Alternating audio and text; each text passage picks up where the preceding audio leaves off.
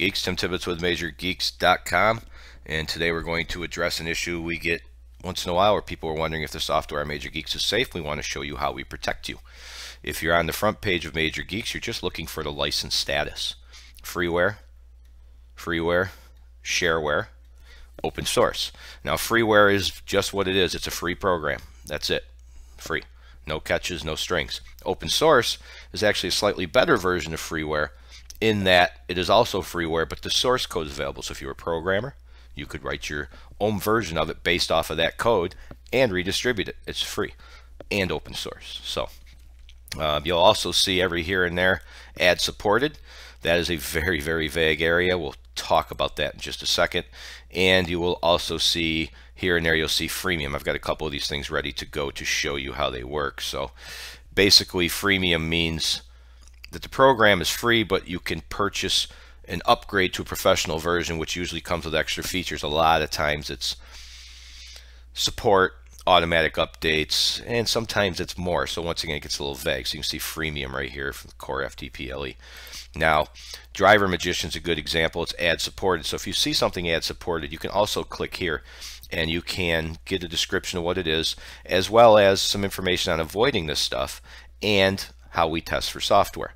So it's just a little something something you can look for while you're out there. So let's give you a, a good example. I'm going to download this one show you the differences between them. I think I already did download. Yeah, I did. So Driver Magician Lite is actually not too bad in that see how it's already flagged as bad. But that could scare you, but we did test it. Click yes. And as you can see, the only thing this does is kind of a shame it's been flagged as ad supported is ask for your email address. However, you can uncheck this, hit next, next, and install it. And as you can see, that was it. There is nothing additional. There's a program. There's no advertising. Uh, ad supported could mean that it runs an ad as well as install pups, which you've heard about potentially unwanted programs. Let's take a look at those. CD Burner XP, which I actually use on my machine.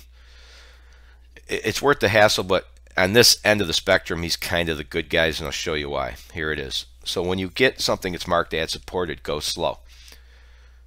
He wants you to either install Avast free or say no. And this allows the developer to make money, and it's not as popular as it was a couple years ago. So I click no thank you, hit next, go through my settings, languages, just take your time and skim it, and you can launch it when you're done. So some of these guys are a little sneakier than he is. He did a nice job. You kind of have to choose it. Some of them gray it out so you don't see it, and that's how they slip it by you. But just to show you, now that we've installed those two programs and we were careful in paying attention, we can go to Apps and Features, List by Install Date, and as you can see, we didn't install anything additional, just the two programs that we just installed. So that's it. That's how you look for the status of anything on Major Geek. So as you can see it says it here but when you get to the page you can also find it right here under license. So look for that. And as you may have noticed I don't know if you if I pointed this out so hopefully I'm not repeating myself anything that's ad supported I did cover it not only can you click ad support, I don't know if I mentioned it's we intentionally did it in bright red, the brightest red we could find. We want your eye to draw to that. We want you to be aware it, it's there. So we shoot for four star apps. If somebody adds a pup or puts ads in there, it's kind of just been our policy. If it's a really good program like Burnaware, we're going to list it. So, and just so that you know, people are in a hurry to scroll, click, click, click, click, click.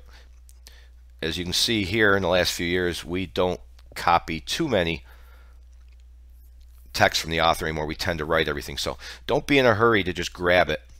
But take note that we wrote this.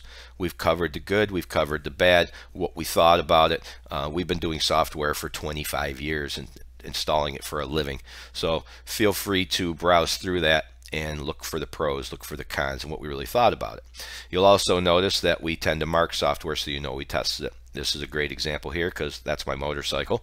And here's our little logo kind of out of the way, hopefully a little hidden, but just so that you know that this is not a stock screenshot from the author. This is us running it inside a virtual machine, which we're actually doing this video in. So not too complicated. We just want you to be aware of what you're downloading and what the statuses are. That's why we put the license up there so you know what you're dealing with. Freeware, open source is the best. Shareware, there's nothing wrong with it. A good program's always worth a few bucks. Freemium, free with upgrades. And of course, ad supported may have pups or ads in it. And that is the breakdown. So I hope it helps you get through any questions you have about downloading and gives you a little peace of mind as to how we add things. If you have a minute, click subscribe. It'd be awesome. And as always, we thank you so much for watching and we'll see you next time.